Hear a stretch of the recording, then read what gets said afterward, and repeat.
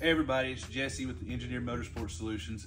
I just wanted to go over installing the Ross damper real quick. First thing we do is we have this heating plate. We hook it up to a jump box. Be careful, they do get really hot. We want some thermal expansion to open it up so we got more clearance to slide it over the snout of the crank because these are an interference fit. They're not made to simply uh, slide straight on. We have a special tool that we screw into the crank and this guy screws over it and then as you tighten it up, it rides on a bearing and presses the damper on.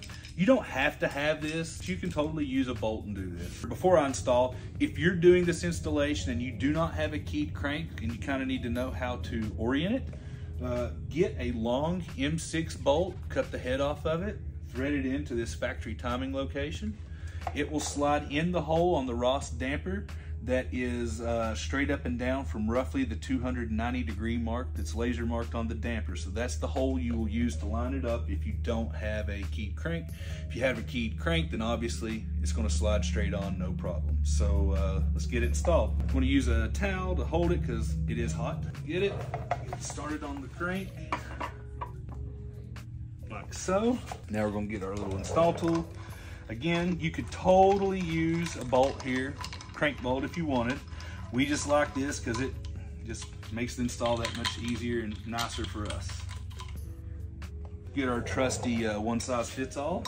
Start pressing it on the end of the crank.